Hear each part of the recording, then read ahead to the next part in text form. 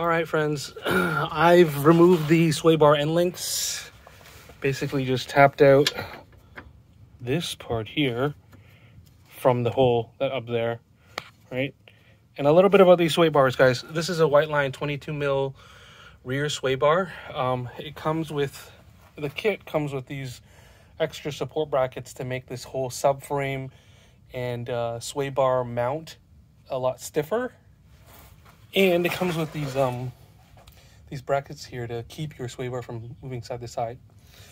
So you know a lot of people are like wondering like should i get a 20 mil upgraded from the 16 that's stock or should i go 22 mil? It really depends on what kind of driving you're doing okay? So in the front i have a 24 mil right? And in the rear i have a 22 mil. I also have coilover suspension. So altogether this is a pretty tight package. Um, the stock Impreza or the Crosstreks come with, you know, uh, a lot softer struts, right?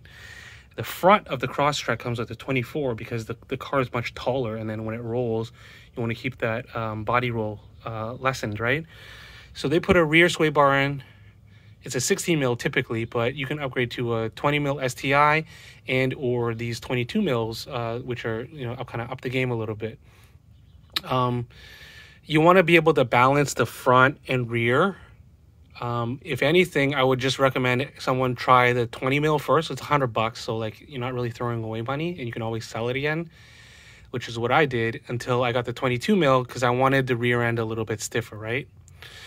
And so with sway bars, I want to also mention that when you upgrade the thickness or the diameter of your sway bar, you also need to upgrade the sway bar bushings themselves because you know the whole you know, for 20 mil, the 16 mil is going to be like this, and then a 20 mil is going to be like this, and then the 22 mil is going to be like that, right? So sway bar bushings need to be upgraded as well. Um, and then the last thing I wanted to mention was uh, from the factory, if you have sway bars, uh, they're usually bolted down pretty tight with these these um, nuts here, or these yeah these nuts or bolts. And what happens is when you move the sway bar up and down, like I'm doing here. Well, you can barely tell, but I'm moving it up and down here, right? I can just use my finger to push it up and down, right? Sometimes these brackets here, they'll pinch the kind of like that C cup that goes on, right? And if it pinches it too hard, this sway bar is not gonna not gonna move very easily. And if your sway bar doesn't move easily, it actually just counteracts some of your suspension.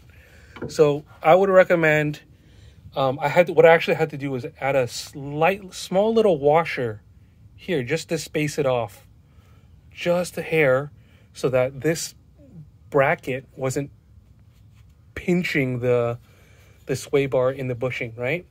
So I, I've spaced off just a hair, and this is fine. This is structurally still good, solid, but um, it allows the sway bar to move freely, right? And so all your suspension components you want to move freely, right?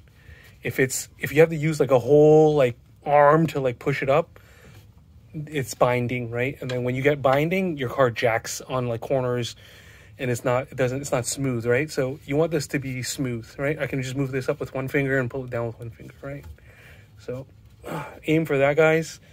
Same thing with uh end links and things like that right? You don't want any of that stuff to bind. So right now i've just pulled off these sway bar end links uh, so that i can get maximum droop. Let's continue